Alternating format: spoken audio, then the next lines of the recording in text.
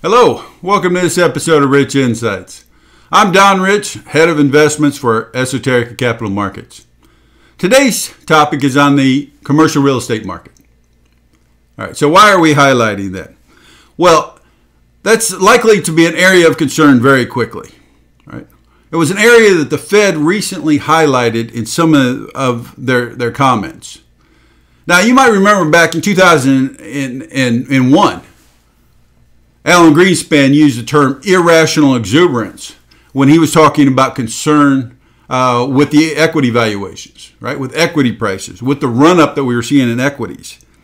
And we're starting to see verbiage out of the Fed today with uh, regarding their concern uh, with equity prices. All right, it's very unusual for the Fed to comment on on, on valuations or or uh, uh prices in any particular asset class, but that's what we're seeing today.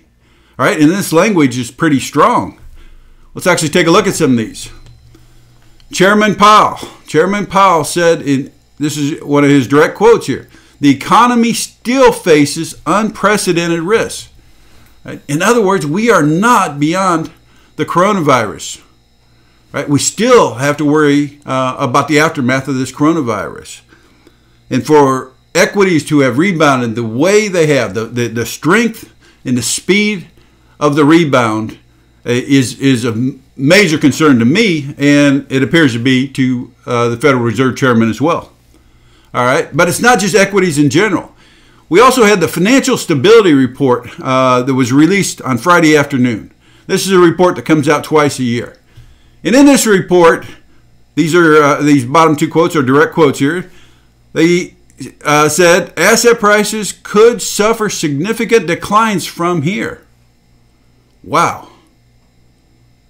That is strong language for the Fed.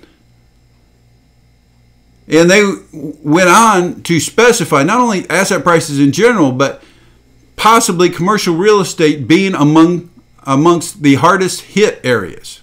Now, why is that? Well, the price of commercial uh, properties and farmland were richly valued, perhaps overvalued, going into the downturn going into the downturn. So if there were concerns with, with valuations going into the down, downturn, obviously there's far more uh, concerns today. So let's be very clear here on what we're talking about when we're talking about these commercial properties.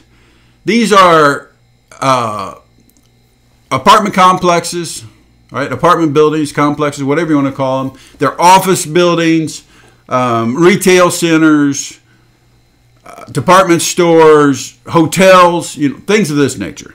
Okay, so what happens is is uh, uh, business uh, take, takes out a loan, takes out a mortgage, uh, right, for these facilities, and then those mortgages are pooled together. They're pulled together and they're, they're sold as investment vehicles. It's, it's called CMBS. It's commercial mortgage backed securities. All right, so what are some of the concerns with these CMBSs? All right, one is overvaluations, right? That that was highlighted in the in the Fed report, in the financial stability report. The valuations uh, were a concern before the slowdown. Now that's not unusual.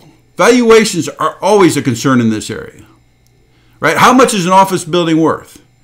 Well, until we sell it, it, it, it, you know the price discovery process is is is difficult right if you're able to rent out all your office space and you uh, you know with long-term leases um, at high rent rates uh, you know of course uh, that, that can give you a very high valuations but if those circumstances change it could significantly change your valuation very quickly so there always uh, seems to be a valuation concern in this space, but particularly now, right? Now, in addition to that, these are also uh, generally very highly levered um, borrowers, right? So we're starting with a potentially overvalued asset class and highly levered borrowers right? This was the cocktail that we were presented before the slowdown, folks. Remember that, before the slowdown. Okay, so that's two of the issues. Now let's get down here. The credit rating is also a concern. The credit rating. Now we, we saw this back in 2008. All right, uh, but it wasn't with commercial mortgages so much back then. It was with residential mortgages, right? Mortgages, uh, houses. And what happens there is, is you can take a bunch of uh, individual um, residential mortgages and put them together. All right, and why do they do that? Well, the individual mortgages may not qualify, and often do not qualify for, for a AAA credit rating. But when you put them all together, the idea is that the the uh, credit risk diversifies, right? The default risk uh, uh, can diversify by pulling these together, and you know, as we saw in 2008, a lot of these AAA rated residential mortgage uh, pools uh, were in trouble uh, and, and, didn't behave like AAA's uh, at all. Right? And the reason for that, again, is when you have a um, systemic event, like we did with housing in 2008, everything came down together. It didn't matter whether you pulled a bunch of mortgages together or not. Uh, because because everyone everywhere uh, was largely affected. Right? We have that same issue going on here today with mortgage-backed uh, uh securities.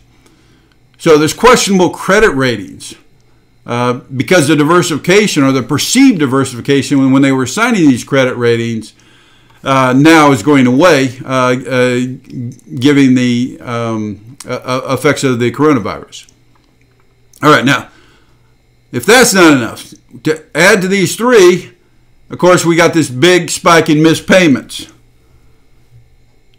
Right? We, we have department stores uh, not paying their rents. Uh, we, we have individuals, uh, you know, in apartment complexes uh, not able to pay their rents now and so forth. And that was true in March. It was true in a- April. Uh, it's most likely going to be true in May uh, as well, and possibly even longer. All right, so that's that's pretty uh, ugly background background that we're dealing with here. So the question is, you know, has the market has the CMBS market been reflecting these risks? So let's take a look at that. Let's look at some of the evidence related to that. So here is an uh, index uh, uh, for CMBS. And what we're looking at here is the spread. It's called the option adjusted spread, or it's a, you know, just think of it as a credit spread uh, on these securities. Now you can see for about a year, a year prior to the slowdown, you were earning about 60 basis points as a credit premium. 0.6%, right? 60 basis points. And then, of course, we had the liquidity crisis or the financial crisis that followed the healthcare crisis. And this thing shot up to, well, let's call it 260, right? It went from 60 to 260. Now, since then, things have uh, leveled off a little bit here. They have improved. And you can see as of Friday, they were paying just over 160 basis points. Okay, so let's uh, talk about that improvement first. You know, why did things improve? Went from 260 over to 160 over. Well, of course, we had all these emergency Fed actions, and and and all those uh, liquidity provisions have uh, had a, a, positive effect, right? And and risk at risk appetite is improved and and uh, liquidity tensions have uh, lessened. So the risk premium on just about all asset classes has come back down. All right, and we're seeing that in the CMBS market as well. Now, add to that, one of the Fed uh, liquidity windows is actually set up directly at uh, the CMBS market. And the way that works is uh, if you put up the C- CMBS as collateral, if it's AAA CMBS, you can put it up as collateral and the Fed will give you a loan, a liquidity loan. All right, so one of the Fed facilities is, is for this market in particular.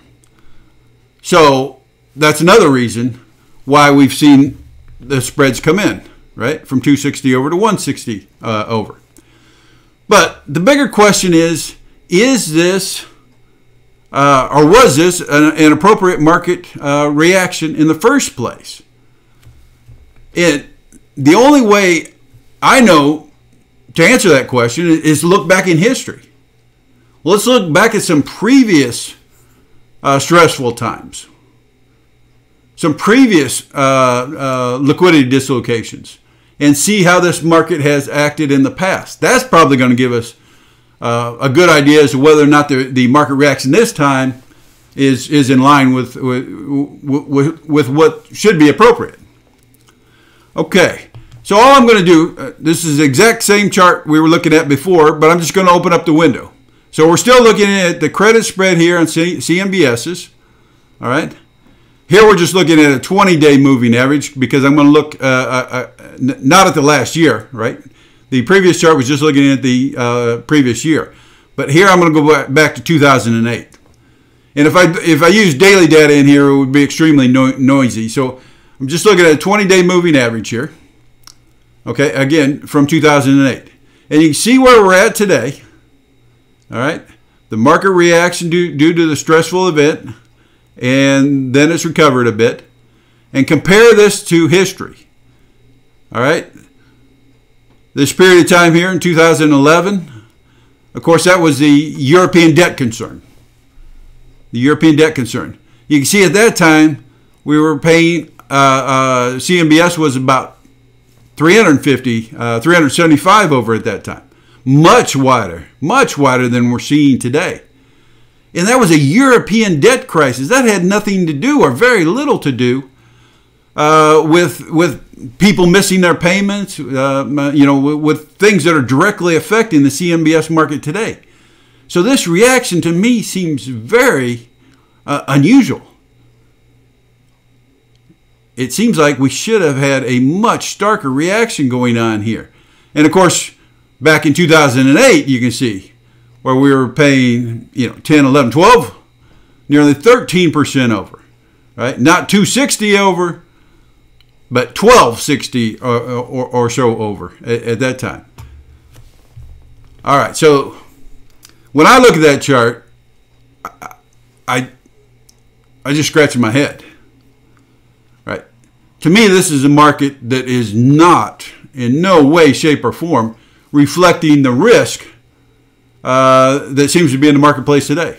The amount of missed payments and the effect that's going to have on on um, on these mortgage holders.